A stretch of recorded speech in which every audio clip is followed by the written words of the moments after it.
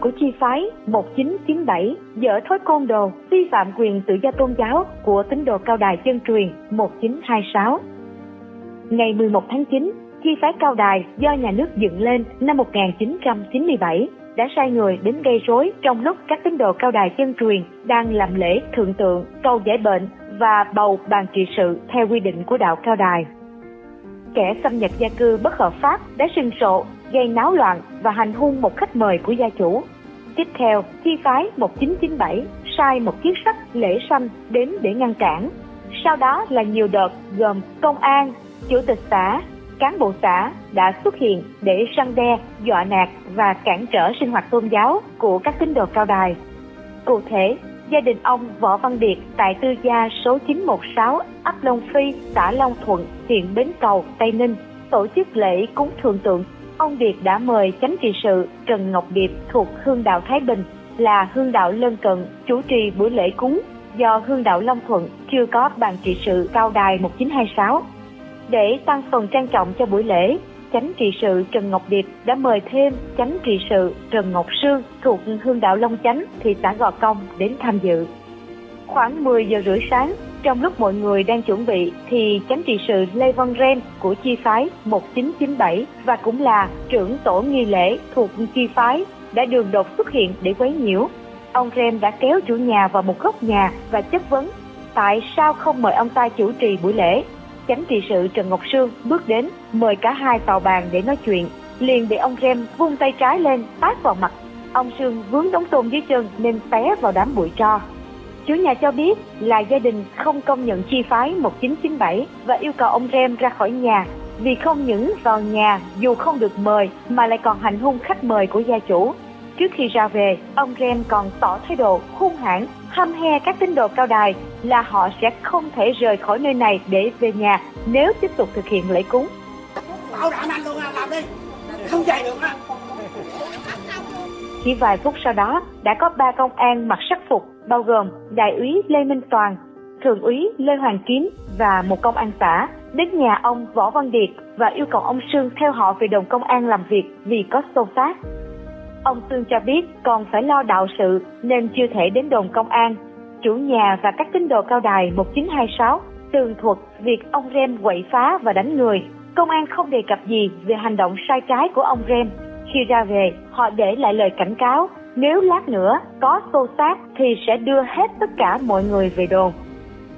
Không đầy 10 phút sau, ông Chích là người giữ chức lễ sanh của chi phái 1997 đến nhà ông Võ Văn Điệt Ông này yêu cầu gặp chủ nhà và những người chủ trì buổi lễ để chất vấn vì sao không xin phép và không mời người thuộc chi phái 1997 làm lễ.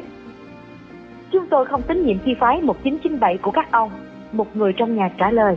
Người này khẳng định đây là quyền tự do tín ngưỡng và không tín ngưỡng của gia đình mình. Chủ nhà còn chỉ ra cho ông Chích hiểu rằng chi phái 1997 và đạo cao đài 1926 là hai thực thể, hai tôn giáo khác nhau không liên đới với nhau. Với cái tinh thần là cái quyền tự do tín ngưỡng và tự do không tín ngưỡng cho nên tôi tới đây để rồi tôi nói vậy. Tôi làm cái đám này để hỗ trợ cho gia đình huynh mặc dù là cai quản hay là chính quyền địa phương huynh cũng không có cái quyền mà người ta tín ngưỡng huynh nay huynh biểu ta tín ngưỡng bây giờ huynh làm như vậy là huynh vi phạm quyền tự do tín mà ngưỡng nói ra một câu Đến khoảng 11 giờ 50 phút trưa, gia chủ yêu cầu ông Chích ra về để bắt đầu lễ cúng lúc 12 giờ. Những tưởng đến lúc này lễ cúng sẽ được diễn ra suôn sẻ, nhưng không. 30 phút sau, Chủ tịch xã Long Thuận dẫn theo một số cán bộ dưới quyền đã kéo nhau đến nhà ông Võ Văn Điệt, yêu cầu mọi người đeo khẩu trang. Mặc dù mọi người trong buổi lễ có đeo khẩu trang, khoảng 45 phút sau lại có thêm một vài công an xã Long Thuận dẫn theo một nhóm người đến nhà ông Điệt. Họ tự xưng là cơ quan y tế xã và yêu cầu tất cả mọi người phải viết tờ khai y tế các tín đồ cao đài 1926 cho rằng đây là hành vi sách nhiễu vì lệnh thủ tướng đã không bắt khai nữa do số ca nhiễm Covid-19 đã giảm và địa phương này không phải là ổ dịch. Ông chủ tịch xã nói lớn tiếng cho tất cả mọi người đều nghe rằng chẳng hai đầu, ai kê khai rồi thì cho đi, còn không thì giữ lại. Một giọng điệu tương đồng với lời hăm he của ông Rem. Sự kiện à, sát nhiễu và hành hung à, xảy ra vào ngày thứ Sáu 11 tháng 9 tức là ngày cuối tuần thì ngay à, vào hôm thứ hai 14 tháng 9 tòa lãnh sự Hoa Kỳ tại thành phố Hồ Chí Minh đã gọi điện thoại hỏi thăm sức khỏe của tôi và muốn xác minh về một số vấn đề trong hai bản báo cáo ờ, mà họ đã nhận được. Tôi đã tường thuật những chi tiết mà họ cần tìm hiểu. Chúng tôi rất mừng vì sự việc mới xảy ra nhưng lại nhận được sự quan tâm đặc biệt của tòa lãnh sự quán Hoa Kỳ.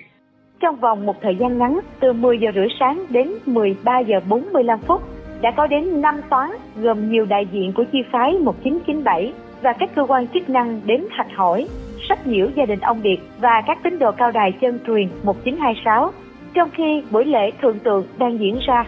Phải chăng đây là một sự sắp xếp hay chỉ là trùng hợp tình cờ?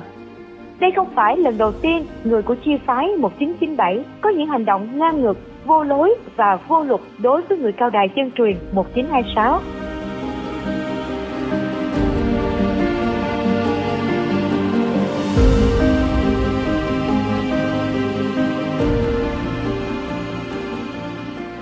Một chi tiết quan trọng khác là cũng trong ngày 11 tháng 9 vừa qua, đồng đạo cao đài 1926 đã công cử bầu ra ban trị sự tại hương đạo Long Thuận, Bến Cầu, Tây Ninh. Tôi là Trần Ngọc Điệp, được sự tín nhiệm của đồng đạo công cử tôi là chánh trị sự thuộc hương đạo Thái Bình, tộc đạo Châu Thành, châu đạo Tây Ninh theo pháp chánh truyền các bàn trị sự địa phương phải được đồng đạo công cử. Trong khi đó, tổ nghi lễ thì do sự chỉ đạo từ trên xuống, không được đồng đạo công cử. Đó là sự khác biệt giữa chi thái năm 1997 và gốc đạo cao đài năm 1926 đó là tính dân chủ rất cao trong đạo cao đài.